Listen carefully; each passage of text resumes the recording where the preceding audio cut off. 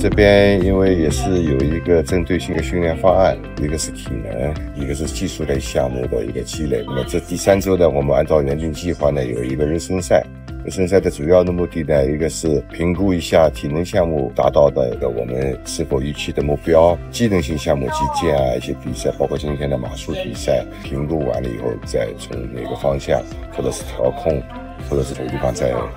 再强化一下亚高原训练呢，肯定是对心肺功能耐力性项目是有帮助的。